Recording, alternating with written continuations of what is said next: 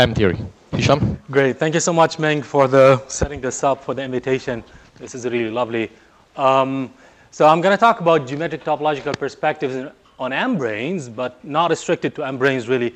It's going to be more M theory and string theory, uh, but to a large extent, M-branes as well. Um, so um, here's the outline. Going to have a global overview.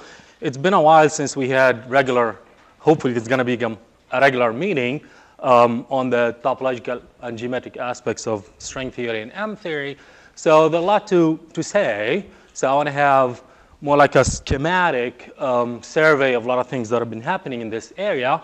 Um, so I want to talk about M-branes from world volume perspective, and then M-branes and M theory from space-time perspective, and then some mathematics associated with that, uh, mainly within rational homotopy theory, and also new connections and applications. So like I said, this survey is lo many a lot of works that I did with uh, mainly Urs Schreiber, Domenico Fiorenza, um, my postdoc Dan Grady on differential cohomology, and earlier work with Igor Kriz and Mathai, who is here. And more recent works also include John Huerta and Vincent Braunack-Mayer. Um, so uh, I want to start with a global overview. Um, so it's going to be schematic, like I said. So I want to start with asking questions about what math, uh, extracting uh, something out of the interaction between math and physics. So one can get math from physics in the sense of trying to get new mathematical structures and constructions that one can get from studying M theory, for example, or one can get math in physics in the sense of what mathematical structures, conditions, tools should we have in place in order to properly describe uh, M theory and hence string theory and so on, uh, and maybe quantum field theory even. Now, of course, there are advantages and disadvantages to looking at this. The advantages are that um, by phrasing things mathematically, the physics become becomes more transparent. The disadvantage is that um, we will be dealing with mathematically idealized physical models. So now I'm going to be the precise models that one wants to get. And of course, uh, Christian already alluded to that repeatedly. Um, all right, so um, M theory connects to a lot of um, concepts in mathematics. Um, and part of the theme of this conference is to highlight some of these concepts. Um, so it connects to supergeometry, to higher geometry, as Christian explained to us. Differential cohomology as well. I'm going to highlight some aspects of this, as well as generalized cohomology. And towards the end, I'm going to um, connect to parametrized homotopy theory, as well as equivariant homotopy theory from a rational uh, point of view first, and then integrally as well. Um, so this is the um, big arching uh, theme here. So, so looking at physical theories and trying to extract some geometry out of them, um, of course, we've seen that in M theory in 11 dimensions, the objects are, the main objects of interest are the M branes, the M2 brane, the M5 brane. And of course, reduction to various string theories in 10 dimensions will result in strings in D branes. And what do we require? So sort of like a mini wish list. Um, uh, so we want consistent formulation, we want no anomalies, we want things hopefully to be mathematically rigorous, and we want it to contain as much information about the system as possible. It might not be exactly that system, but hopefully a good approximation to that. Uh, schematically, um, if we have uh, Dirac theory of spinors, uh, this is going towards higher structures, but more from a, a homotopy theory point of view. Then, of course, we need spin structure, and we have a corresponding group, the spin group. If to describe string theory, of course, um, um, Christian also mentioned that. Uh, then we need a string structure, and then we have a corresponding group, the string group. And it turns out to some extent, if to describe the five brane theory, um, and again, all this is mathematically idealized, then we want a five brane structure, and then there's corresponding group in the homotopy sense called the five brane group. Um, so structures associated with these gadgets, from a topology point of view, want to extract the field strengths um, which correspond to anomalies or constrained on these field strengths. And then from a differential geometric point of view, we want to highlight potentials and corresponding Wilson loops are holonomies. So uh, corresponding to each uh, kind of a, a, brane, we have a topological geometric um, entity just to set the notation. So for the particle, we have a, a usual field strength, sort of like the Yang-Mills, and the corresponding potential is A1. For the string, we have H3, um, and then it has a corresponding potential given by B2. For the M2 brane, we have G4 with the C field, and then for the M5 brane, well, it depends what you mean by the M5 brane. I could mean the NS5 brane. I could mean the M5 brane in 6D or 7D or 8D as an extended world volume. And you have corresponding entities to that.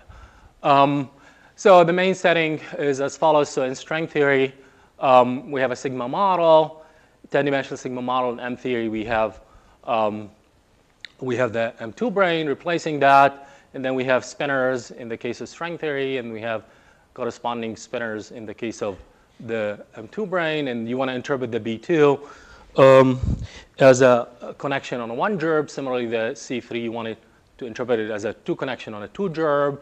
And then the boundary of a string sits on a D brane. The boundary of the M2 brane sits on the M5 brane. If we want to uh, look at this from a, a more topological point of view, we would want to impose anomaly cancellation conditions here in string theory, we have the Freed-Witten condition, which is um, W3, the third integral Stiefel-Whitney class, plus the class of H is zero in integral cohomology. And in M theory, we have Witten's flux quantization. Uh, G4 plus half lambda is an integral class in 11 dimensions. Lambda is half P1, the first Pontryagin class, or more appropriately, the first spin characteristic class um, which is the generator of degree 4 of the classifying space of B spin. Um, so one, there has been some um, an approach to try to interpret uh, conditions like this as obstructions from actual obstruction theory in homotopy theory via Atiyah-Hirzebruch spectral sequence.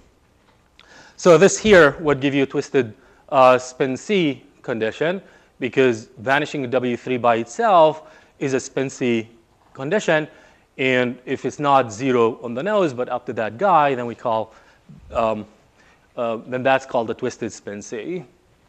And uh, um, here on this side, um, this can be viewed as a twisted string structure because the vanishing of lambda by itself is uh, correspond to a string structure, but if it's not vanishing, but you can combine A and G4 and say lambda is 0 up to those. So then those act as a twist.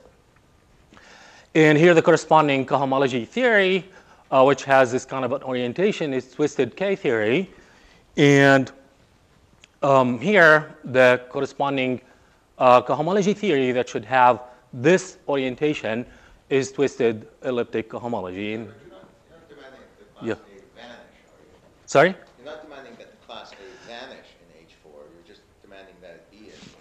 Yeah, that's right. But you see, you can set this in such a way that G4 plus A is another class, let's say.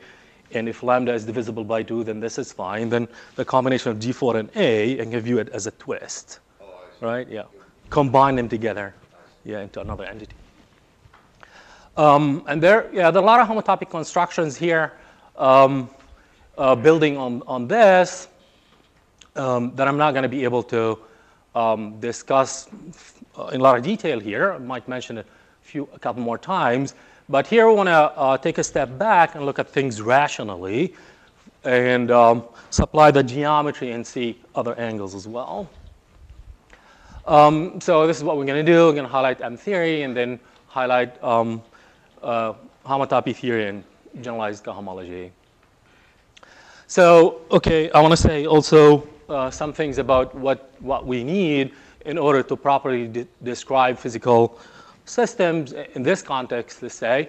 So I want to talk about, um, well, fields want to be in cohomology generally, uh, but there's uh, a reason why I want to twist this cohomology theory or generalize it, make it into a generalized cohomology theory, or um, differentially refining it by including the, the geometry.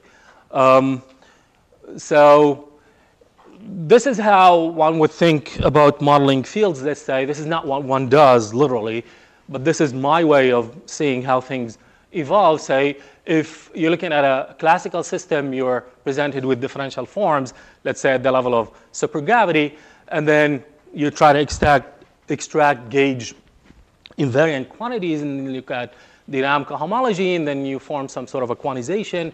You start going more towards um, integral cohomology, and then you include anomaly cancellations, you get generalized cohomology. It's sort of like this. This is schematic. Um, so the upshot of this is that the partition functions, which are sums uh, or integrals over moduli spaces of fields, should take values in this cohomology theory, let's say. Um, and want to introduce twists, as we said, so would like to introduce automorphisms, and these um, arise from geometric and physical considerations. Um, so the homotopy uh, point of view on this is that one looks at a family setting, bundles of spectra setting. Um, um, so this picture that I had written down vertically, now I'm writing it horizontally. So there's a corresponding twist for each one of these levels of understanding. So for de Rham forms, one can twist de Rham forms, one can twist de Rham cohomology, one can twist integral cohomology, and um, any generalized cohomology from a um, from a um, abstract point of view. Now, of course, constructing the twist is another story. And um, the simplest example of a twist, twisting of forms given by the orientation bundle. And the next um, example, twisting de Rham cohomology, one starts with the de Rham complex, and one can twist by a one form that's say built out of scalar functions, in this shows up in Witten's deformation of Morse theory. Um, so uh, with a, coming up with a, with a smooth function, forming a, a, differential like that, one can show that, well, it's obvious, that d squared is 0. Um, so one can have, in this case, because this is exact, there's a, a quasi-isomorphism, meaning this would lead to the same cohomology between uh, a complex built out of D and a complex built out of DS, and then we call this exponential factor a quasi-isomorphism, so they have the same cohomology group. Now one can twist by a closed three form, and this is the more familiar way of twisting. And um, twisted de Rham cohomology then uh, is defined as the kernel modulo the image of this twisted differential. So the main example here is Ramond-Ramond fields in string theory as shown by um, Moore, Witten, um, and others. Um, so um, can, one, can one form higher twists? We looked at one twist, three twists. Can one form higher twists? Um, uh, then yeah, sure, one can do it. And, um, one can form a differential with the sum of any odd uh, closed um, differential forms. And one can form corresponding graded de Rham complexes with such differentials. And this actually um, um, has applications because in, if you look at heterotic string theory and you try to mimic what happened here in, in the case of Ramond-Ramond fields here, one combines the Ramond-Ramond fields of every degree to form a total RR field. So if you try to do the same in heterotic string where F is abelianized Yang-Mills field and star F is its dual and try to form a total um, field strength like that, and if you look at variation of the action together with the Chapline-Manton coupling, gives you this equation. Um, D minus H7 on F is 0, uh, where DH7 is um, where this combination forms a differential squares to 0 for the same reason that these guys did. So this does have uh, applications in, in string theory. Um, so one, because of this uh, point of view, this point of view here, that one starts here, try to build their uh, one's way up that way. So is there a mechanism of lifting? It's not really a mathematically well-defined question. Um, so main example here is via Chern character, and the Chern character appears most prominently in twisted K theory. Uh, so there's a twisted Chern character that takes you from twisted K theory, twisted de Rham cohomology. And similarly, for any twisted cohomology theory, it doesn't have to be twisted. Any cohomology theory, you have a Chern character, and then you can ask, well, um, um, can, you, can you find this guy? Can you find this generalized cohomology given twisted cohomology? Because you really start from here. You're not given that. You start here and you supply some anomaly conditions and other ingredients in order for you to arrive there. Similarly here for any cohomology theory. So it's a sort of like a reverse engineering kind of a problem. Um, so the second uh, ingredient was uh, twist. The third ingredient is differential refinement. So one wants to supply the geometry into the problem. So one introduces geometric data uh, through differential forms, either connections or Chern forms, um, uh, in order to retain differential form representatives of cohomology classes. So, so starting with Rham cohomology or integral cohomology or generalized cohomology, one adjoins differential forms to each one of them so that this leads to differential refinements to each one of these flavors. And this, um, the, the underlying um, geometry and topology needed for this is supplied by Hopkins, Singer, Bunke, um, Urs, and others. And um, it's, a, it's a fiber product. It's a, um, it's a, fiber, a twisted or fiber product um, of forms with generalized cohomology where they match when they meet in de Rham cohomology. It's a homotopy pullback diagram. So that differential cohomology is really this kind of a um, homotopy fiber product. Um, so example, uh, differential refinement integral cohomology, it has um, uh, several incarnations, either algebraic, it leads to Deligne cohomology, or um, geometric approach, differential characters, or gerbes, or there's an axiomatic approach using that homotopy pullback that we saw before. And if we concentrate on the Deligne cohomology uh, part, it arises through looking at um, truncated de complexes up to degree n, let's say, and replacing the, um, um, the sheaf, uh, the structure sheaf with a multiplicative group uh, using the exponential map to get a modified de Rham, uh, truncated de Rham complex. And Deligne homology in degree m plus 1 is the hypercohomology of the complex of sheaves of abelian groups. And uh, one can write down uh, um, this, this diagram here as a part of a diamond. If you um, rotate by 45 degrees and you look at closed n plus 1 forms and n plus 1 integral cohomology classes that meet in de Rham cohomology through de Rham's theorem and the Chern character. And this is going to be um, this incarnation of integral differential cohomology. Um, one can do the same for a generalized cohomology. Given any generalized cohomology, you can actually differentially refine it. Uh, the main thing you need, you need some information about that theory um, in differential forms, and that's supplied by looking at forms with coefficients, the coefficients of the theory, meaning the value of the theory at a point. You look at the value of the theory at the point.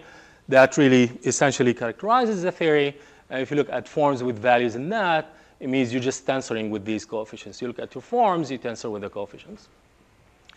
And one can look at closed valued forms in this context, and then also de Rham uh, cohomology valued, um, valued in the coefficients as well. And then a smooth extension is going to be a con contravariant functor, being cohomology theory between compact smooth manifolds as opposed to topological spaces or CW complexes because we're in the differential setting, uh, integrated abelian groups. And again, this is yet a, a third way of writing that diagram down. This is a differential cohomology theory, and it's a pullback of, four, of valued forms as well as the underlying topological cohomology theory such that they agree in valued de Rham cohomology. And of course, a lot of um, researchers have uh, made this very uh, precise. Um, so the full structure one wants, you want uh, twisted, differential, and generalized uh, cohomology at once. You want to have the geometric data given by forms. You want the topological data given by the underlying cohomology theories. You want to twist each one of these, and then we differentially refine. When you differentially refine, um, twisting up here is by a cohomology class in the topological setting. When you do differential refinement, um, what ends up twisting these differential theories are the corresponding geometric objects corresponding to the underlying topological twist. So for example, in the case of K theory, this H hat is going to be a gerbe with connections. So then one can twist not just with a closed um, odd form, but a gerbe with connection. Similarly for other theories as well. So examples, one can do um, things that show up um, motivated from physics from another point of view, canceling anomalies in space-time, twisted Morava K-theory and E-theory, generalizations of K-theory and twisted TMF, topological modular forms, also motivated from anomaly cancellations in um, M-theory. One can also set this up in such a way that uh, one can talk about higher gerbes. Um, so if you're looking at generalizations of um, the system where you have a, a gerbe, then you can say, well, what's the Grothendieck group that corresponds to um, n gerbes or um, n plus two, n plus one bundles, and one can form iterated K theory that corresponds to that and even twist it. Um, and one can do differential refinements of all these uh, cohomology theories that show up. So depending on the system that you have, you're going to have your favorite cohomology theory that comes into play. Um, so an, a direct application of this is that, remember we said we want to uh, identify physical conditions as obstructions um, and uh, particularly as differentials in the Atiyah-Hirzebruch spectral sequence corresponding to some theory. And um, it turns out spectral sequences can be extended to differential refinements. And um, so we, by adjoining geometric data, and this sort of uh, like a meta theorem, combines a bunch of theorems. So we have a, a, differential refinement of the following. So in a series of papers with uh, Dan Grady, we uh, refined uh, primary cohomology operations, including Steenrod squares, to the differential setting, secondary cohomology operations, including Massey products, and um, we um, built the Atiyah-Hirzebruch spectral sequence and concretely identified the differentials. Of course, here you no longer have just differentials that are purely topological. You have differentials that mix topological data with geometric data as well. And these are novel that you wouldn't see just by looking at the topological theory. So here's how it works. You start with the untwisted theory E. You can do two things to it, either twist it or differentially refine it, um, and then do the other operation. You arrive at twisted differential um, theory.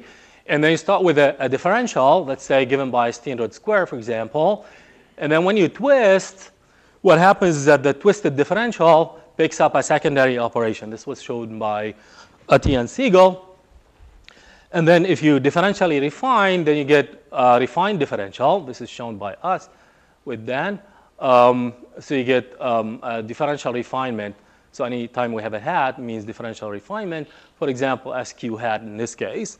And then if you twist, then you get two things. You get differential refinement of the differential uh, as a primary operation, and then differential refinement of the secondary operation given, say, by Massey product. And this generalizes um, Atiyah Segal to the um, twisted differential case. Okay, so that was the first part. Um, the, now I want to move on to the world volume theories. And of course, the disclaimer is that I'm not really doing 2 comma 0, 1 comma 0. Simon uh, already, Christian already uh, highlighted that. So um, I'm going to talk about higher structures that were also mentioned. Um, so the, the, these fields um, require some higher tangential structures. So instead of looking at um, uh, just tangent bundle structure, one has to look at some connected cover. This uh, notation means that you've killed uh, homotopy groups of BSL up to dimension up to degree n now.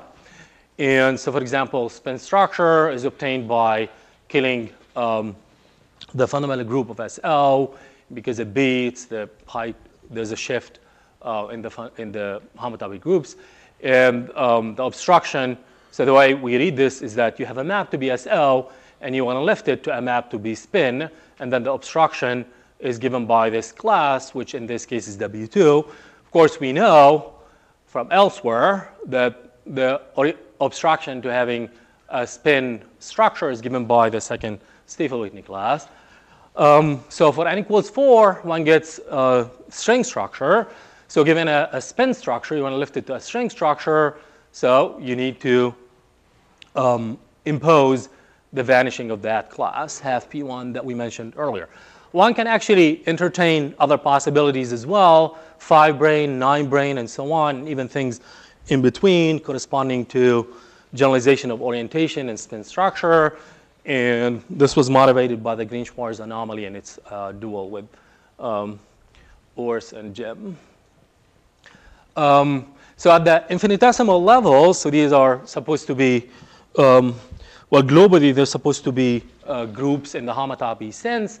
Uh, the infinitesimal levels, they're truncations of L infinity algebras. So string is a Lie uh, um, 2 algebra, 5 brane is a 6 algebra, 9 brane is a 10 algebra. It means it has brackets of higher degrees up to uh, that degree plus 1. And um, one can build characteristic classes corresponding to these and uh, work out a lot of um, concepts here. So there are variations on these constructions. So uh, given the physics situation, one wants these to be twisted. I already mentioned the um, the uh, Witten flux quantization as a twisting of a string structure. Uh, one can supply a lot of geometry in way of higher uh, bundles, um, looking at a stacky perspective. Um, but we know also from physics, um, the situation is not always Riemannian. Sometimes you want to do pseudo-Riemannian. And uh, indeed, with one of my PhD students, Shem, we extended it to the Lorentzian case, instead of starting from spin n, start from spin pq and use the same kind of lifting.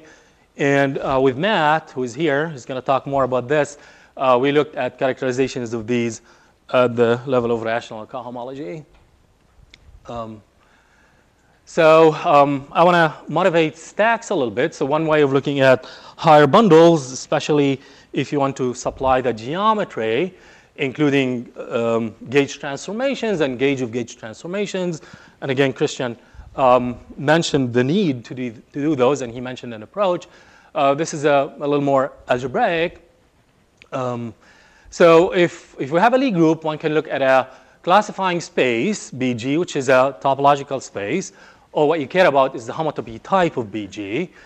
And then homotopy classes of maps from X to BG um, are equivalence classes of G principal bundles on X. Now, of course, there are um, some things that this doesn't uh, know about. For example, the smooth gauge transformations and the actual gauge fields. And we want to supply these. In order to do so, there's a smooth groupoid or smooth uh, stack such that, well, you want to replace this BG um, that we're mapping to by some other space that sees the geometry when we map to it.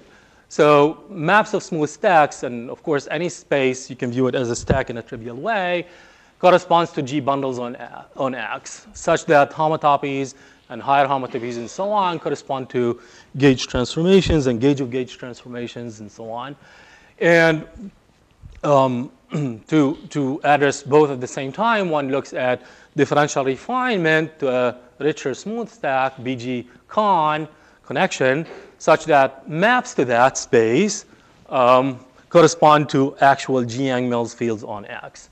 So the true configuration space is going to be this smooth mapping stack.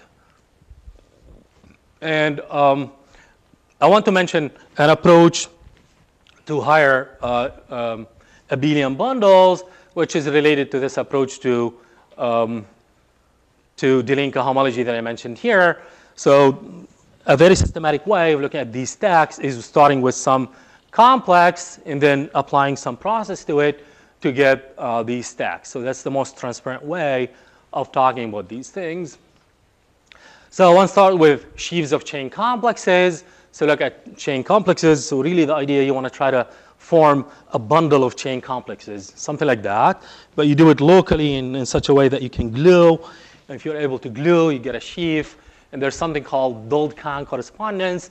And stackification, it gives you this stack. So the idea is, is not bad, actually. You, not bad to understand, I. So the, the um, n stack of U1 n bundles without connections is obtained by applying this process. I'm not going to explain what it is in details, but you apply it to this uh, chain complex. You just have U1 and then zeros in every other degree. And then um, if you want to have um, abelian n bundles with connections, so you need to have more data and Weyl differential forms. And indeed, you just form the Deligne complex. It starts out being like that. And then you supply forms up to that degree. And then uh, equivalence classes of, of these are um, in natural bijection with any of these groups. You can look at it from a, a sheaf point of view, hypercohomology point of view, or stacky point of view. Similarly, for the case when you have connections, you have various um, applications. So the word stacks looks scary, but it's not really that bad if you look at it from this point of view. Um, so once you have a stack that has a lot of geometry, there's a process in which you can um, do reverse differential refinement, if you like. You can strip the geometric data out of your system by using um, geometric realization. And uh, um, if, if you have cohomology, then cohomology is represented by homotopy classes of maps to Eilenberg-MacLane space. And in order to get a differential analog of cohomology, you need a differential analog of Eilenberg-MacLane space, which is an n stack, BNU1, in such a way that the geometric realization of that stack coincides with the underlying homotopy type of KZM plus 1. And one can do this not just for abelian things, but for non-abelian spaces like B spin, and one can get a classifying stack for non-abelian groups like spin. Um, spin n and greater than 1, um, or, yeah, 2, uh, then uh, such that the uh, geometric realization gives you the underlying homotopy type.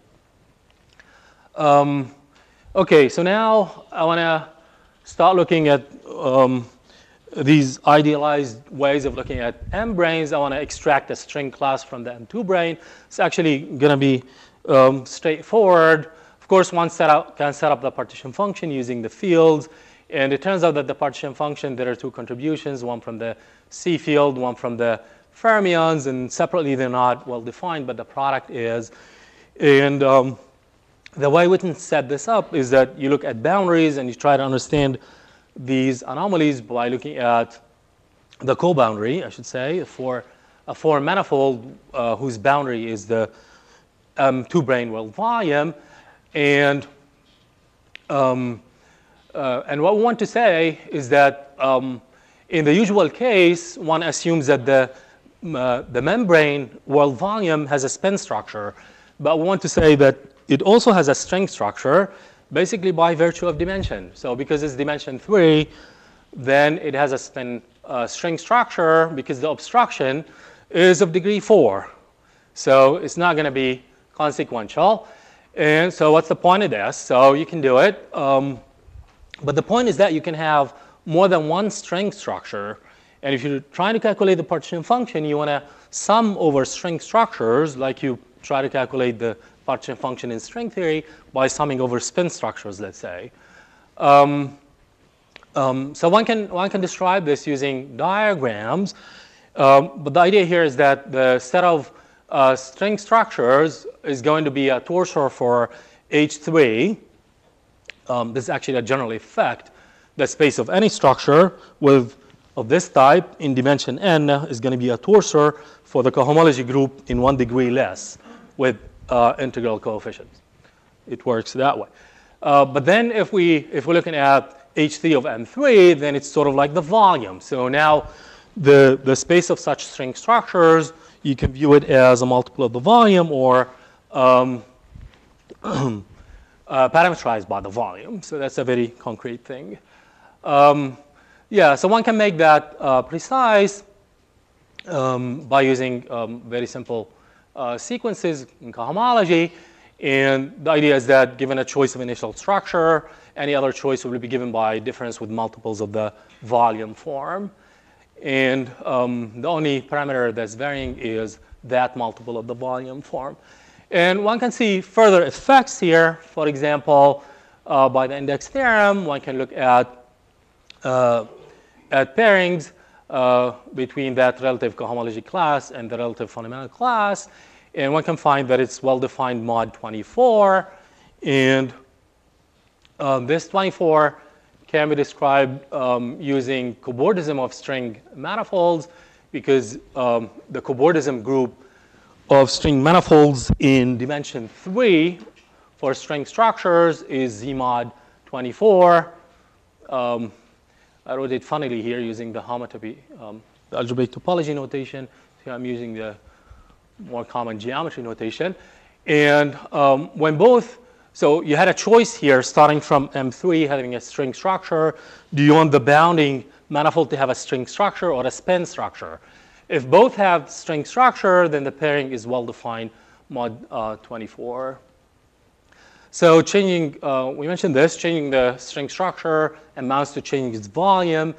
And uh, the option of this is that the membrane partition function, which one can try to work out, and we have, depends on the choice string structure on the world volume. So there are further connections of this to uh, when we mentioned string cobordism, but also topological modular forms and um, suggestions uh, that I made that charges of membranes um, uh, take values in TMF, and then um, building this in an anomaly-free way requires a real version of um, Morava E theory called EO2 theory.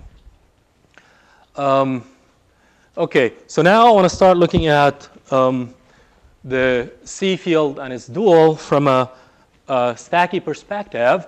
So locally, what are we given in supergravity? So we are given a three form a three form, um, which is a C field, and SO valued one form, the Vierbein. And if we have a boundary, let's say the heterotic theory, for example, we're going to have E8 valued one forms, gauge fields, and a B field. Uh, now, globally, um, we want these to be um, to arrange themselves in such a way that we get um, twisted differential co-cycles. So there's an analogy with the um, um, Douady class um, that was um, um, discussed extensively, this part, by Mathai and Peter and uh, Carey and others. So um, the, the higher degree analog of this, that was in the, in the degree 3 case. In the degree 4 case, that class A, which uh, takes us from B8 to B31. So there's a moduli stack of E8 bundles um, or circle three bundles or two gerbes um, that can, one can build around this. Uh, and under geometric realization, um, this gives us the usual morphism between classifying space of E8 to KZ4, which represents that class A. Um, and so one main point here is that uh, while non-abelian E8 gauge fields have very different differential geometry, than abelian three-form connections, the instanton sectors of both uh, may be identified. Um, so now I want to throw in the, the brane. So if we have a five brane world volume embedded into space-time, then one can build a co-cycle and A-twisted um, relative differential cohomology as a, as a commuting diagram of, of higher stacks in the sense that we mentioned earlier in such a, such a way that there's a homotopy between, um, so I should, Q, Q is the brane, sorry. This is, this is general picture. That's a specific case for the five uh, brane world volume. Um, and um, this is, we can view this, and I mentioned this earlier, we can view it as a C-twisted differential um, structures associated with the E8 bundle. Um, and there are um, two connections in the sense that um, Christian also mentioned. So in analogy where the abelian B field on D brane gives rise to a non-abelian one form gauge field, the restriction of the C field gives rise to a non-abelian uh, two form gauge field. So that's why one wants to ultimately talk about a non-abelian uh, gerbe theory associated with it. Okay, so um, one can describe that Witten flux quantization using stacks as well, using a homotopy um, pullback diagram. Um, and uh, previously we had half lambda, but lambda itself is half p1. So um, this is multiplying that formula by 2.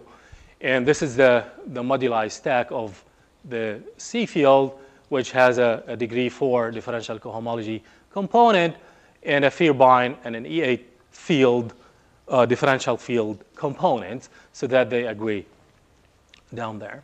Um, so a field configuration has a circle 3 connection, a spin connection, E8 principal bundle, and a choice of gauge transformation. Uh, again, as Christian highlighted, um, one needs to have a, a, choice of an isomorphism because everything is up to that um, between the circle 3 bundle and the difference between the Chern-Simons 3 bundle and the spin and E8 bundles. Um, so one can look at boundary uh, moduli as well. If one looks at the C field configurations, there are two types of boundaries. One can look at the heterotic boundary, or one can look at the M5 brane as some sort of a boundary. And there are two stages um, to, to looking at this. So one can have uh, boundary zero and boundary uh, mapping to this um, as restriction mapping to this big uh, space or stack. And uh, in the case of the M5 brane, what you require is um, that the differential cohomology class vanishes, but a differential free-form part remain, while restriction to the heterotic boundary because of the involution that um, kills a certain parity of the fields, you want the full differential cohomology class to vanish. That is the topology part as well as the differential form part.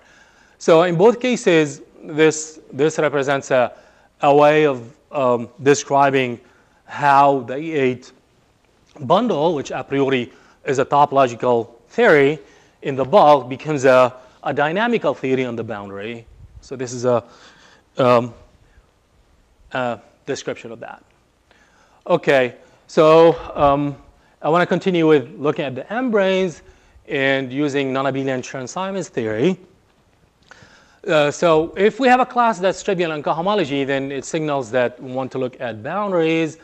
Um, so we just mentioned boundaries. And uh, for the M2 brane, of course, it being three-dimensional, we already mentioned from a, a, topology point of view, it already has a string structure, and it's trivialized now geometrically because of dimension. And for the 5 brane, we, we want to look at the dual notion, which is the 5 brane structure as well. And um, the, the way, the, way the, the combination of the fields arise is that you're going to have uh, compositeness here because of the way the Chern, because really the, the Chern-Simons form in, in 11 dimensional supergravity, it's composite.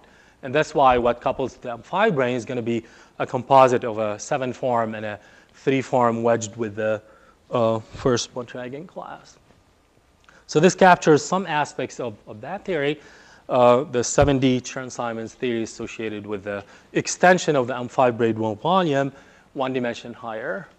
Um, so the abelian theory, the way this works, the abelian theory, one looks at the conformal blocks uh, that are identified with geometric quantization of 7D Chern-Simons theory, which arises from dimensional reduction of the um, um, of the triple um, of the of the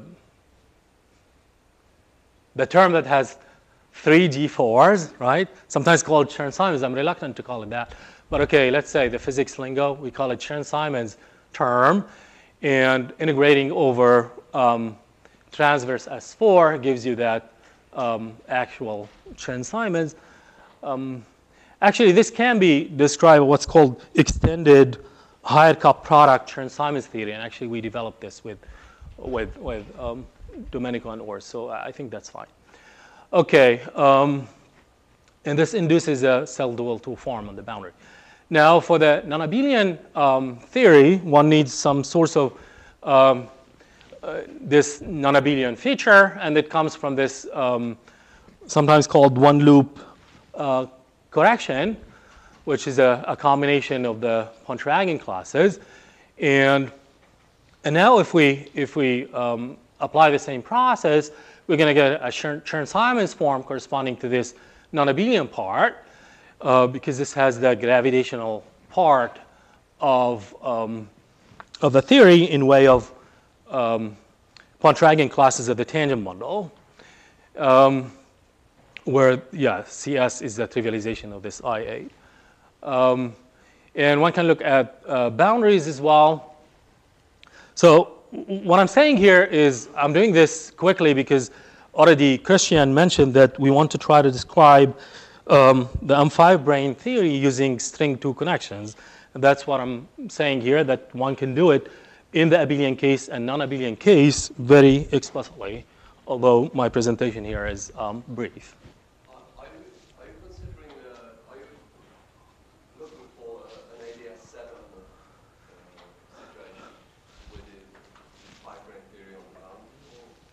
Uh, yeah, yeah, exactly. Yeah, that's right, exactly. So there's an ADS7 lurking in the background. I mean, X7 if you like. It's a good point. Okay, um, so again, um, this is basically repeating what we said before about boundaries, but the main point here to summarize is that uh, what locally looks like a spin connection globally is a two connection on a twisted string principal two bundle or equivalently twisted differential string structure. I mean, a lot of adjectives, but really you do want to have the twist because that's what M3 comes with, with a twist, and you want to do differential because you want to include the geometry in order for things to be dynamical, not just purely topological. And you want to have string because that's the Pontryagin class shows up naturally. So this is really um, the natural words to say here. Okay, where the twist is given by the that class to A. And indeed, one can, one can describe this more generally uh, than what applies to M5 brane. We call these cup product Chern-Simons theories. Um, so yeah, one can, one can look at this in, full, uh, uh, in a fully fledged way and look at corresponding uh, spaces of fields corresponding to any configuration you want in this context. Um, so I don't know how I'm doing on, on time. Uh, oh, well, okay. I'm running a bit late, slow. Okay. Uh, so now I want to mention some uh, recent work with Mathai um, that um, connects to some of these things on, on um, Christian's wish list. And again, this is going to be mathematically idealized situation. Um, where I'm not really doing any of these standard models, 2 comma 0, 1 comma 0, etc. But I want to address two, two points here. First, self-duality. Of course, we all know that there's a problem with self-duality of odd forms. Right? You can't write down an action. There are ways around it, PST, etc. was mentioned in previous talk.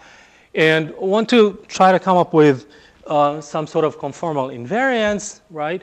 And maybe modularity. You want to try to come up with modularity um, already in 6D. How about that? Why don't we have modularity in 6D? Why do we have to reduce down to 4D to get modularity in 4D using the torus? That's the usual yoga, right? You look at an extra torus and you say the modes around the torus, as Jack was explaining also, right? That gives you modularity down in 4D. Why shouldn't there be it means the partition function is a modular form. Uh, on Yes.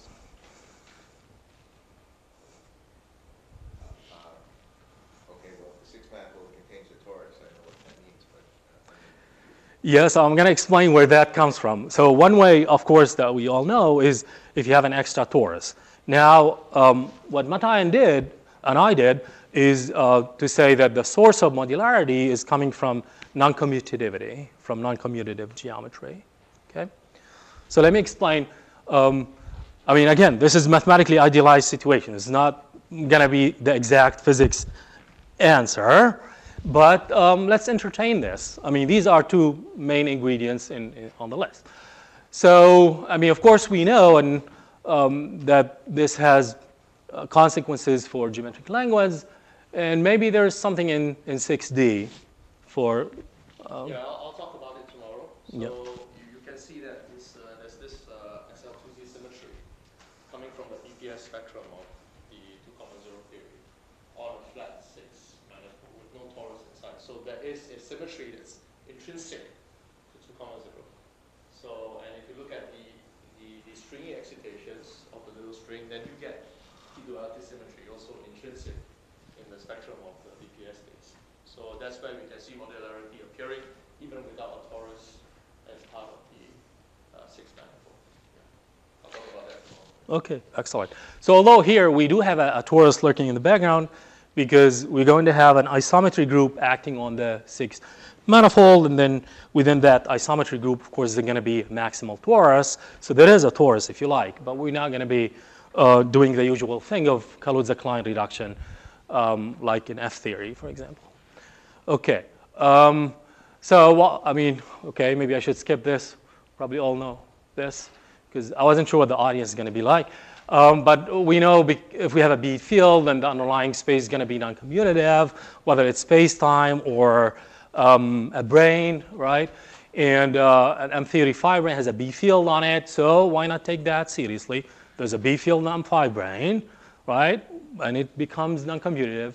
And um, in a special case, when one reduces to 4D, that was described by Nekrasov and Schwarz, but want I consider six-dimensional uh, theory. And um, yeah, there's a paper by uh, David and collaborators on looking at non-commutative geometry arising from the C field. Um, but we're going to describe things uh, uh, slightly differently. Um, because of what we have in mind. And this uses the notion of strict deformation quantization of. And then in the context of T-duality, Mathai and Hannabuss uh, developed a parametrized version because that's what you want for T-duality. Um, and so the source of, non, of sorry, non-commutativity, not commutativity, the source of non-commutativity here is going to be put in by hand as a new mathematical parameter. Um, so ultimately, one hopes that this has a physical meaning. But for, for now, this is a model. Um, so this is the action. Of course, we keep saying there's no action, but we do write actions down. And Christian did write down an action. So, okay, so uh, we assume, okay, action in two senses. Two senses. So first, we assume that there's an, an action of a torus um, on, on the world volume. But again, that doesn't have to be as a bundle in the usual sense, but it could be through the isometry group, slightly different. So the, the action functional, I should say, is going to be like this. So we said, well, let's take things um, in the most straightforward way possible. So uh, we want to deform everything inside, so we want to deform the, the six-dimensional manifold in using strict deformation quantization want to deform uh, um, the, uh, the wedge product into an uncommutative product, want to deform the Hodge star operator into an uncommutative, and, um, and this requires um, working with these ingredients to make sense of this action. So that's what we want to set up. And what is this going to do for us? So if one looks at the dynamics, so uh, there's a precedent to this in non-commutative Yang-Mills. Um, and similarly, one gets the equations of motion as usual. I mean, you can see the, the obvious uh, changes here. I'm going to have thetas where appropriate. And this is going to be the main system of equations that one deals with. And uh, th the first aspect that we're looking at is um, that you are able to write expressions like this or like this, either way. Um, using self-duality and the fact that H is a three form, something you would not have been able to write down the commutative um, uh, world. So of course we know that self-duality of 2p plus 1 forms in 4p plus 2 dimensions is a problem. And this consequently leads to problems on the partition function. And there are ways around this uh, using holomorphic factorization, then extending to Chern-Simons theory or to, to disk bundle theory on that theory. And then the partition function is a section of some line bundle intermediate Jacobian. And I think Sam is going to talk about this. Where's Sam? Yeah, Sam is going to talk about it. And um, so one, one can describe this also, this whole story using differential cohomology and stacks. But coming back to what we're doing here, the non-commutative formulation does not suffer from this immediate problem. So if we look at the wedge product of two forms of odd degree, it's not going to vanish immediately. Um, so for um, p equals 1, this corresponds to our setting for the five brane here. Uh, but then what we're doing here can be extended to other situations. Oops. Don't die.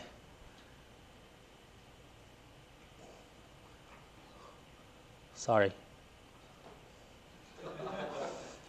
Okay, I'm hoping it's not going to collapse on me. okay, so um, of course we know other situations uh, where this happens. For example, the self-dual scalar in 2D and type 2B in 10 dimensions. So what we do here can be useful there as well. Um, so uh, for S duality, so what we're going to do, we're going to further modify the system mathematically artificially by adding coupling constants, but we know, of course, we want to map to the actual physical theory, there are not no coupling constants. But let's, let's allow this, and if we do that, then it's going to look sort of like Yang-Mills theory, but now non-commutative Yang-Mills theory, and the coupling parameter is this tau, is uh, the coupling, theta is the theta, theta parameter. Um, and the main point here is that um, the deformed wedge product is no longer skew symmetric, so it's possible to restore full uh, SL2Z symmetry um, as a purely non-commutative phenomenon.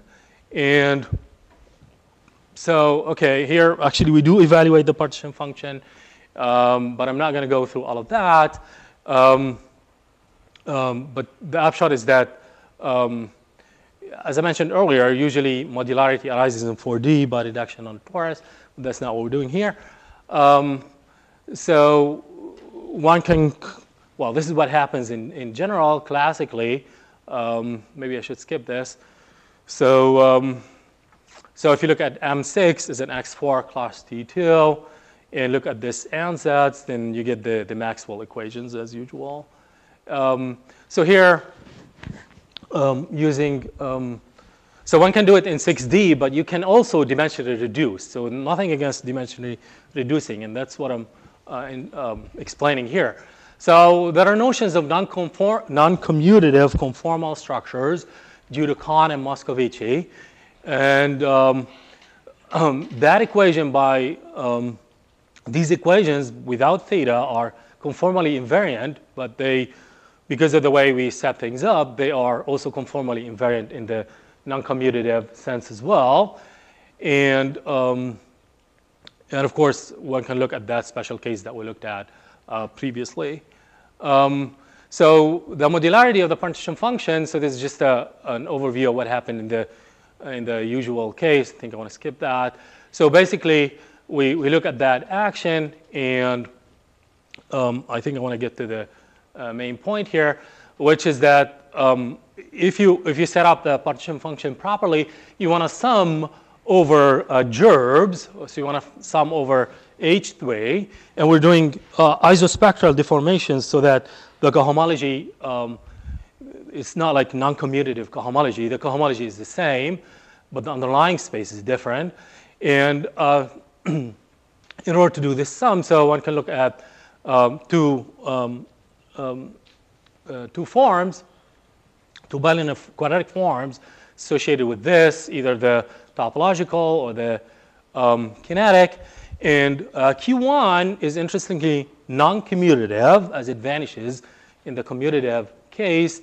Q2 here vanishes in the commutative self-dual case, uh, as in the um, five brane theory, but it's um, um, non-identically vanishing in the non-commutative setting, even if you impose self-duality. So this is really the main point here, is that you can allow these quadratic forms. And um, if you, um, look at the signature of Q1 is given by the Betti numbers. And again, the, the Betti numbers are not changed because we're doing isospectral deformations. And um, the upshot of all of this is that if you calculate things properly, then um, the, the sum looks like this. And uh, with tau being the usual parameter, which is a modular form with holomorphic, anti-holomorphic weights given by the self-dual, anti-cell dual um, harmonic, theta harmonic three forms. So in this sense, you get a, you get a partition function, which is a modular form, already in 6D. But of course, there are a lot of things one has to explain. Where do these parameters come from, right? And does it correspond to the actual physical theory? But my hope is that one can, um, one can use this in order to describe the actual physical um, membrane, um, fivebrane theory, because um, this solves, solves two problems, right? The self-duality and the modularity already in 6D. Um, you know, yes? So normally I do holomorphic factorization. Right, Yes. to get the result equals. Uh, what's not obvious to me is that that's the same, is that that's consistent with your Q. I mean, you've introduced a non-commutative structure. Yes. but It's arbitrary. How do I know that's consistent with the holomorphic structure, which allows you to split up the partition? Yeah, so, so the point is that everything that we're doing is called isospectral deformation, that, that is the spectral, the operators are preserved, which means that the cohomology is unchanged and any cohomological um, information is untouched. So, Yeah. The determinant, yeah, again, the determinant is going to involve operators that are isospectrally deformed, so it works out for them as well. I mean, we did take care of all of that. I mean, in a previous version, I wrote down the partition function with all the determinant. I thought that was a,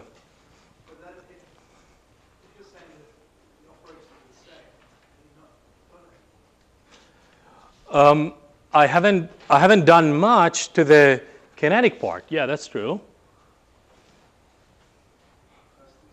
Yeah, maybe we can discuss in detail. But um, yeah, I mean, th- this is a model, and of course, you can ask the question: Why did you choose isospectral um, deformation as a quantization? Why not some other? This is very transparent, and it was um, the right thing to, to use here if you have a, a torus action. You could have used some other non-commutative um, deformation, but it won't be this transparent. It would, it would be much more complicated. And maybe that's something to do. Okay. I think I'm just saying if you do an arbitrary non-commutative deformation, that won't be necessarily consistent with the, the self-duality effect. Yeah, yeah, exactly. And I'm agreeing. And I'm saying the reason that we believe it is consistent and we checked it is because it's. Yeah, right. Okay, thank you. Yeah. Okay, and one can uh, look at modular weights using topological invariants. And one thing here to highlight is that, well, um, of course, in this theory, one can go through what Vafa and Witten did. Of course, we didn't go anywhere close to that, but one can maybe do that ultimately. But one thing that shows up is the signature. And um, what non-commutative deformations gives us is that one can define a signature operator in dimensions that are not um, multiples of 4k, unlike the classical case. So this is a, a nice mathematical um, corollary that, that comes out that um, one can develop it from a math point of view, but uh, also might have implications here. Well, actually, it did in the case of M5 Okay, um, so that was that was the world volume perspective. I want to talk a little bit about the um, space-time perspective. So here I want to start with bosonic 11-dimensional supergravity. As usual, look at the equations of motion, Bianchi identity, and these are the combinations that showed up earlier. That's why I had um, several terms associated with the fivebrane by looking at this Hodge dual here. And um, one can also look at the fermions. And of course, we're trying to extract geometry and topology here. One can look at the gauge transformations, that is the gauge algebra corresponding to the system, by looking at the uh, variations of these. And uh, this is what the algebra turns out to be. Um, it's, um, it's non non-commutative. Uh, it's not abelian because of this Chern-Simons coupling that arose from um, whose source is that Chern-Simons term. Um, and um, yeah, this has been described um, from other points of view. So one can look at this by introducing generators corresponding to the uh, gauge transformations. And uh, this is how the algebra looks like using graded commutators. And um, one can um, describe the dynamics by using Maurer-Cartan flatness, forming a, a, field strength like this using this coset representative and writing down the Maurer-Cartan equation. Um, then it gives you the full dynamics that we wrote down before. Now, I want to give this more um, homotopic description. I mean, this is fine, but I want to see what kind of underlying homotopy theory there is to this. And um, this now connects to the discussion that I had before about looking at twisted de Rham cohomology, for example. So we, we, we said back then that you can twist by any odd degree, but what about even degree? Can you twist de Rham complex by an even degree? Well, of course, you can't naively, but you can modify it a little bit. If you look at the differential, you adjoin to it one of these generators that we talked about here, um, so that the, the differential is total uniform degree 1, then you can do it. So I observed this a while back, and provided that G is closed, which is the case, for example, when I equals uh, 2 in, in M theory, and this is and the generator that we adjoin is Grassmann algebra valued, which is the case here. Um, so one can also form um, um, twists by more than one field. So you can say, well, I want to do duality symmetric twists. I want to twist by the C field and its dual at the same time. Can you do that? Yes, you can. So I form this combination, and the differential turns out to square to zero is nilpotent, uh, provided that you have this relation, and dg7 equals half g4 g4. And this is exactly, the first is exactly the M theory gauge algebra, and the second is the equation of motion for the, for the G field. So this tells you that the dynamics of M theory does define um, a refined twisted de Rham complex at the rational level. Um, so one can uh, actually look at the M theory action and um, discover a lot of homotopic um, in other ingredients as well. So I can write the, the action function using Massey products. So what, what signals this is that you have this equation of motion here. I want to read it from the right to the left. I want to read it as saying that we're tri trivializing a cup product. So I have G4, cup G4. It is zero in cohomology. It means that the level of differential forms is D of something. And that thing is star G4. So I'm reading it the opposite way as you usually read it. So once you have that, then you're trivializing a primary. Remember this discussion about primary and secondary operations. So aside from Steenrod squares and torsion operations like that, like that, there's a, a, more fundamental kind of a primary operation, which is the cup product. And once it vanishes, we have a secondary cohomology operation defined on the kernel of that, on the kernel of the cup product. And that is secondary operation is the Massey product. I did mention that earlier. And um, you work this out, and uh, uh, you, you realize, I did this with Igor Kriz 15 years ago, that the equations of motion define a triple Massey product in a coset of H11. And um, so we can write the Lagrangian itself as a Massey product, and the one loop term is part of the indeter indeterminacy of this. And uh, recently with Dan Grady, we provided differential refinement of these Massey products to differential cohomology so that we can describe this action when everything has hats on them at the level of differential cohomology. So now, uh, in the remaining time, I just want to say a few more things about rational um, homotopy theory. Um, so I want to extract further rational homotopy theory ingredients. So the Massey product is one of them. I want to say, well, okay, is that an accident or is there, is there really a rational homotopy structure in M theory? So we'll take another look at the equation of motion and the Bianchi identity.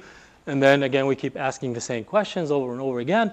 Uh, the rational level, that's what we're concentrating on. Previously, we talked about these more refined structures. So a priori, so where does G4 and star G4 live? So I already gave very highbrow answers earlier. Now I want to bring it down to earth a little bit. So I want to say, well, G4 should be described by a map to KZ4 because a priori it's some sort of a uh, cohomology class. And then its differential refinement should correspond to, um, to map to the uh, differential refinement of that Eilenberg-MacLane space with a connection.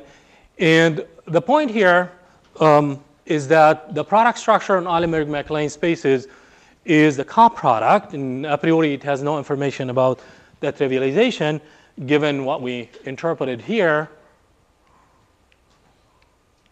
here about the trivialization. We want, we want whatever describes this to know about it, to know about this trivialization. So, so Eilenberg-MacLane spaces do not. So, um, so we need uh, G4 and G7 satisfying the equations to correspond um, to maps somewhere. And in addition, we want to, upon differential refinement, to, to, to have this correspond to maps to a differential refinement to whatever answer we're trying to get in the topological case. So the question here was the question mark. Here's what the question mark is. So if one looks at the Sullivan model in rational, in rational homotopy theory, there are two ways of looking at um, rational homotopy groups, either using Sullivan um, minimal models or using uh, Quillen models. One is more associated with um, cohomology, the other is more associated with homology. So, um, so this, the basic idea here is that you want to try to describe spaces using algebras, using algebras associated with their rational homotopy groups. That's the idea, because if you do that, it becomes very transparent, or at least systematic. If you have an algebraic machinery, you can run it. Um, so, so one notices that the equations of motion correspond to the um, differential graded algebra model of the four sphere. So if you look at that model for the four sphere, it's a um, exterior algebra on two generators with the indicated degrees, such that dy7 is y4 squared, dy4 is 0. And then you notice, well, okay, these are the equations of motion and Bianchi identity. Um, what about the factor of half? So there's a factor of half in the, I don't know if I should keep going back to that, sorry. A half here or a minus or so on. So the factor of f can be explained by the fact that there's an operation called the Whitehead product, uh, or the Whitehead bra bracket, and we are in the dimension of a um, Hopf fibration, namely the quaternionic Hopf fibration, which plays a fundamental role here. And um, in that, this uh, bracket is divisible by 2, so the generator is divided by 2. And um, if we look at the dual model, which is the Quillen model, um, then um, one works out the quantum model in a, in a manner similar to what I did previously using other notations when we set up the uh, differential corresponding to G4. And what we get is that the Lie bracket dual to the differential is given by this. When n equals 2, then this gives us the bracket um, xi minus 3, xi minus 3 is 2, xi minus 6, which is exactly that um, equation that we had earlier with v minus 3, v minus 3 is v minus 6 in different notation. So, so what we get here is that the Sullivan model knows about the dynamics, the Quillen model knows about the gauge algebra. So it's very indicative that there's something going on here. And um, so recently, so the last several years with Urs Schreiber and Domenico Fiorenza, we've been uh, trying to push this uh, further. We have um, several works on this, and Urs is going to pick up uh, the latest and when he gives his talk this afternoon. Um, so the proposal then becomes that higher gauge fields in M theory are equicycles in cohomotopy. So remember, homotopy means you look at homotopy classes of maps from spheres to a space, cohomotopy is going to be sort of like the opposite. You're going to look at homotopy classes of maps from a space to a sphere. So S4 is sort of going to be the answer to what we have here. So what describes the dynamics of G4, G7 is going to be S4, maps from Y to S4, instead of maps from Y to Z4.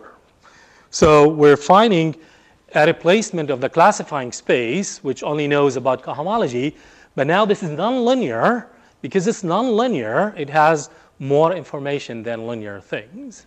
So it's sort of like nonlinear cohomology, if you like, in the homotopy setting. Sorry, Martin. Just a very naive question. Yeah. What happened to the condition that your seven form is the Hodge dual? Yeah, so I mentioned earlier in passing that um, I'm taking this democratic point of view that the two are independent. So there's this duality symmetric formulation where you can say, It's an important constraint, isn't it? No, it is, but uh, yeah, but I mean, people sometimes do that. They say, I have that constraint, but now I'm going to treat them as independent variables. But you don't, your, your equations don't imply that constraint, so you're not getting the full field equation. You're not getting the correct dynamics. Yeah, I- I'm getting G7. Yeah, there's a further condition that G7 equals star G4. But I mean, um, Why can't you just drop that? I'm not dropping it, but I'm saying it, it doesn't it doesn't contradict anything that I'm doing. It doesn't spit it out, but it doesn't contradict it. So we need further refinements of this. Is that okay? It, it doesn't predict it. You're right, but it doesn't contradict it. Yeah. Okay. Very good. So which means that further refinements are needed. Yeah. All right. Um, excellent point. Um, um, so uh, yeah, so the, the proposal is that uh, the dynamics in um, the dynamics in M theory is described as co-cycles and cohomotopy, and um, we start with looking at the rational setting, and in order for this proposal to make sense, you wanted to um, reduce to things that we know, for example. So we know that in um, string theory, in type 2A string theory, for example, the fields are described by twisted K theory, right? So Peter and Mathai and others have established this, and Jack, right? Um, so, so the question is, if you have this S4, what does it have to do with twisted K theory? It looks very far from twisted K theory. But the upshot, well, the main point is going to be, I don't have time to go through all of that, I'm almost out of time. But the point is going to be that not only is it consistent, in fact, we derive, we derive twisted K theory from cohomotopy. We derive, not from a mathematical homotopic point of view. We derive twisted K theory from degree 4 cohomotopy using parameterized homotopy theory.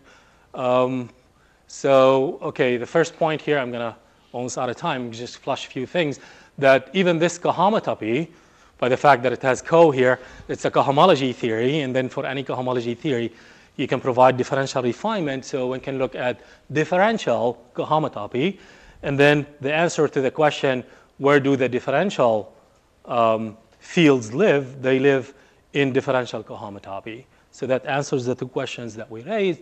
And then, um, so let's see, where should I go from here?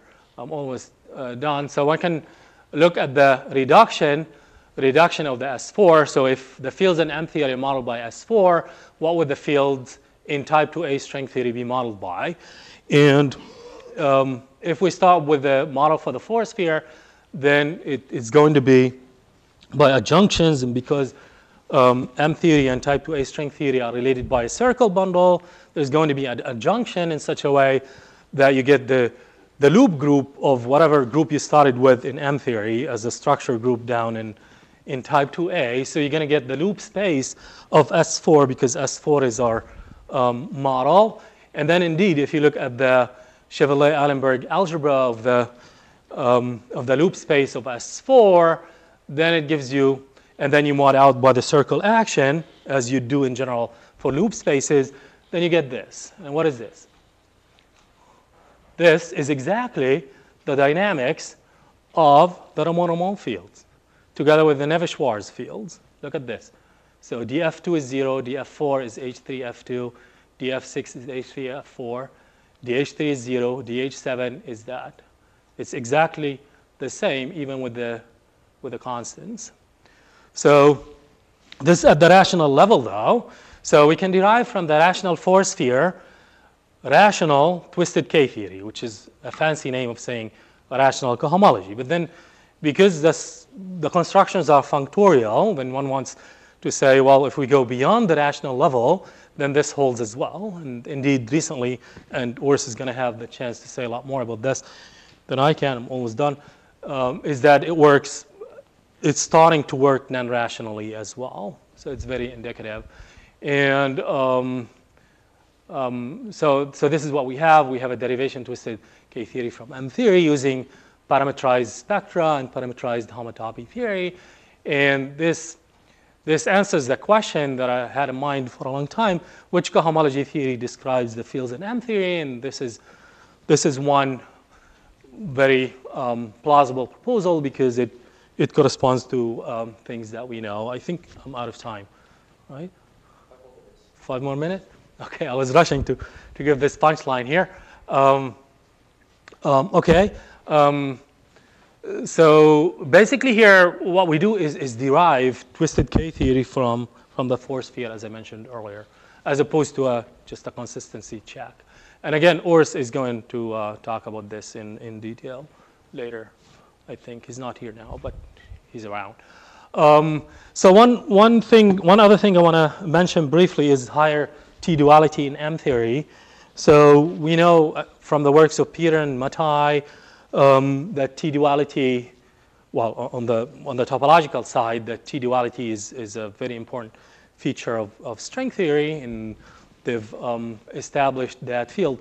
What we noticed recently with uh, Domenico Fiorenza and Urs Schreiber is that we can, we can discover a T-duality in M theory itself, uh, which is which relates to another T-duality for sphere bundles that Peter, Mathai, and, um, and Jarah Evslin have talked about as well.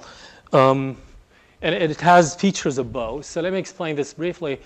Um, so th this is also um, comes as a derivation by looking at super torsion constraints and supercocycles. That's the part that I skipped.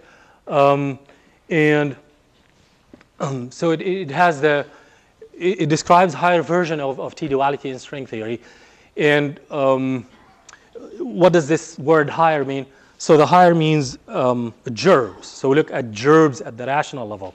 So there's a, a, T-duality between rational gerbes and other rational gerbes, um, as opposed to tori. Usually in T-duality, your internal space is, is a torus, and you have a duality between a torus and another torus bundle, let's say, um, and for spheres.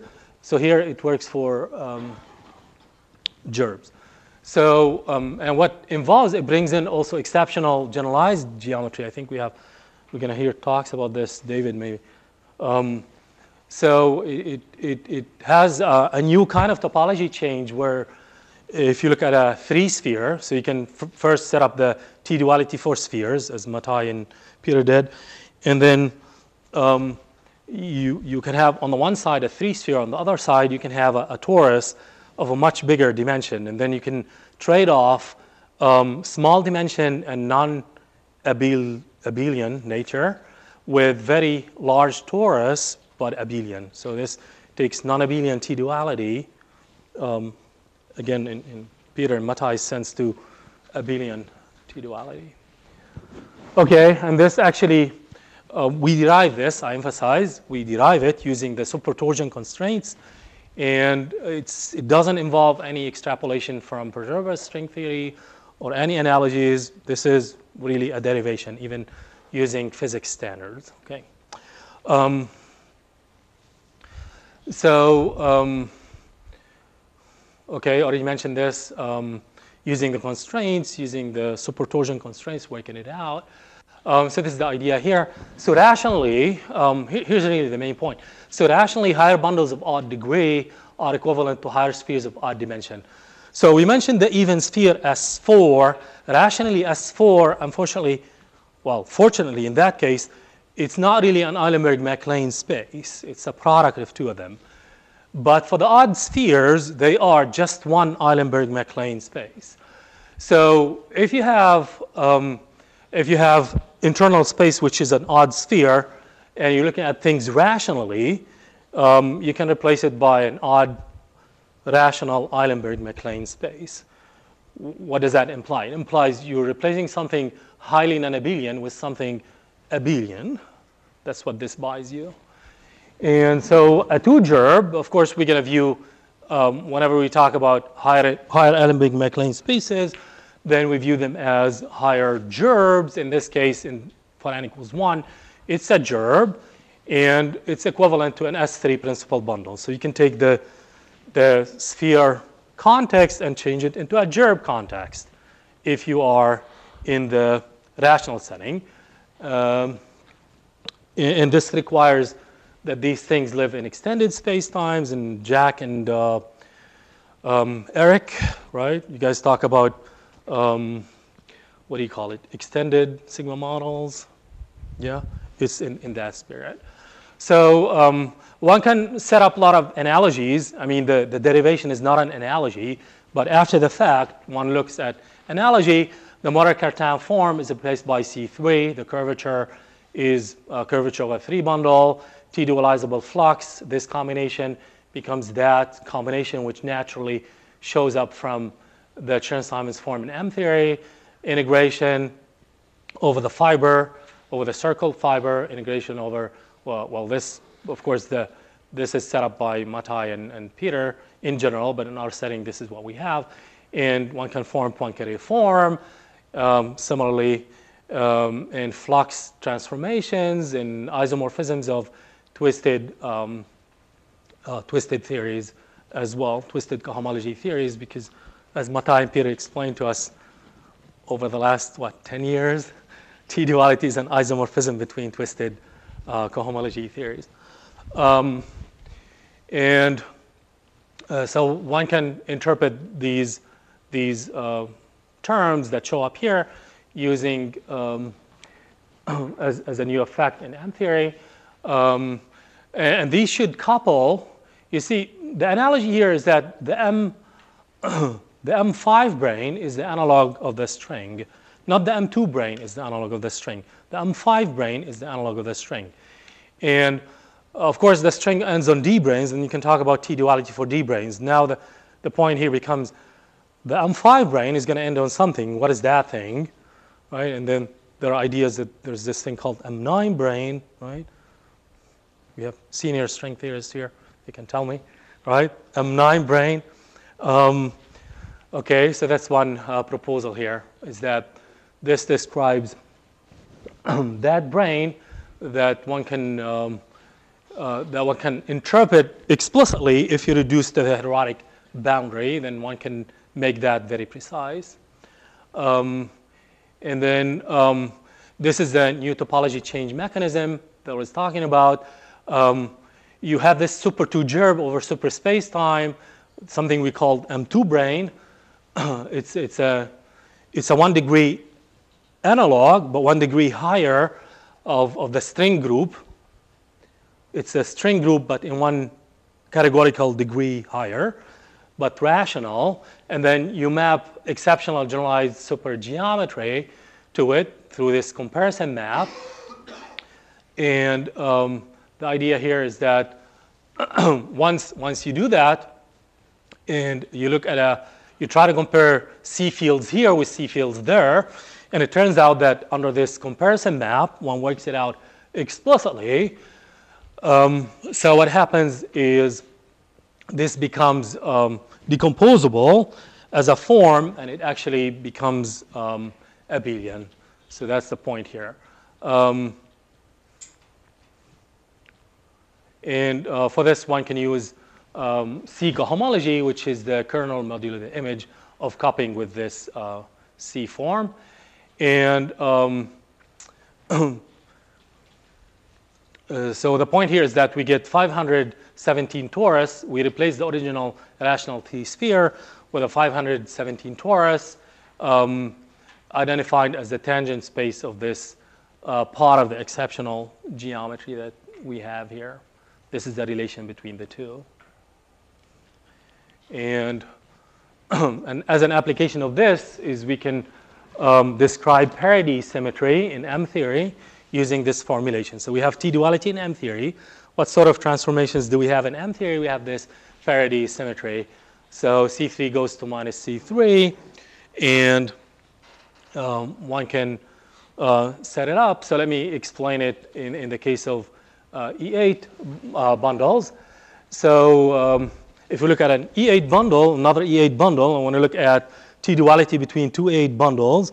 And the point here is that E8 and SU2 and hence S3 have the same, and hence KQ3 have the same rational homotopy type up to the 14 skeleton, up to if you're on spaces of dimension 14 or less, then you don't see all of E8. Oops, you only see that part.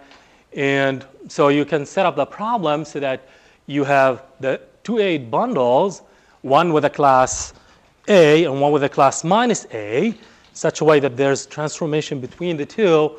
You can set that up as S3 bundles or as gerbes, right? Any one of these formulations is, is okay. And once you have spheres, then you add T-duality for spheres and interpret this as a T-duality in M theory. So T-duality in M theory um, can explain the parity symmetry in M theory.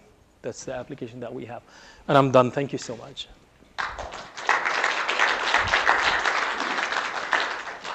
you, Hisham, for a very comprehensive talk. Any questions? What is the relation between your higher T-duality and U-duality? U-duality. Yeah. Um, so, um, yeah, so the next step is to try to do U-duality. So we don't know. That's a question on our mind, actually. Does one contain the other? Or I, I noticed that you, you avoid talking about close declining branes, gravitational stuff. Yes. Um, so, I mean, I don't know. I don't know the answer, but it, it's something on my mind. Surely part of this uh, topological, that's part of topological T-duality in the string case, so surely it must enter here as well.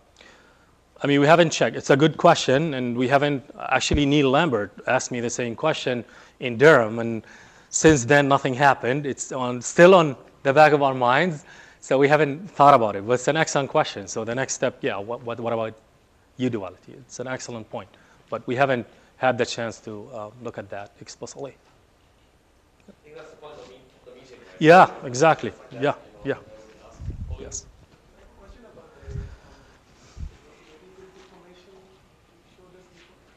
Mm. Uh, Just if I understood correctly, but on T6, um, can I just take the, I think, Connes Douglas and Schwarz, um, Yeah. part of the data? Yeah. Uh, Can you repeat the question? So on, on, on T6, T- can I, uh, uh,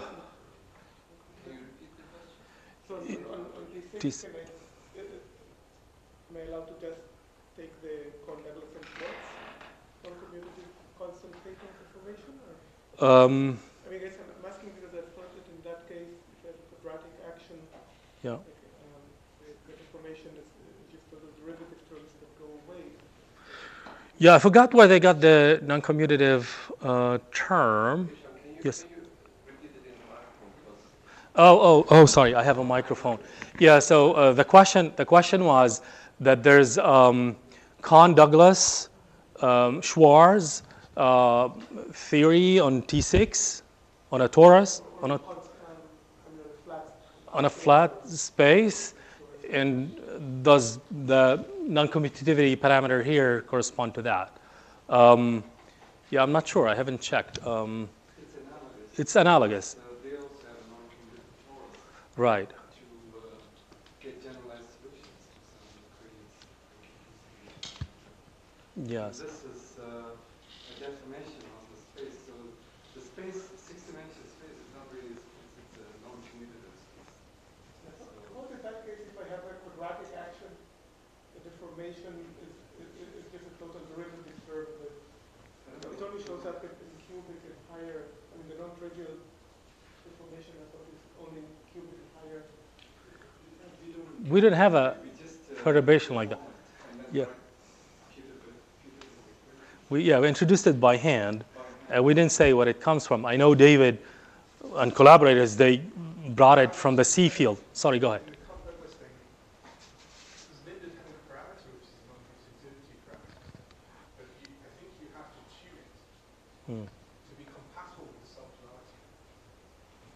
Because otherwise, I've got an arbitrary theta in six dimensions, it won't necessarily be self-dual. Sure. Then when you do the holomorphic factorization, it won't work. So what I'm saying is it can't be